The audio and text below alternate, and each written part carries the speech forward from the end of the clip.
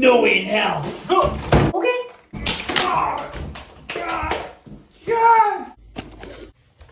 You're gonna pay for this?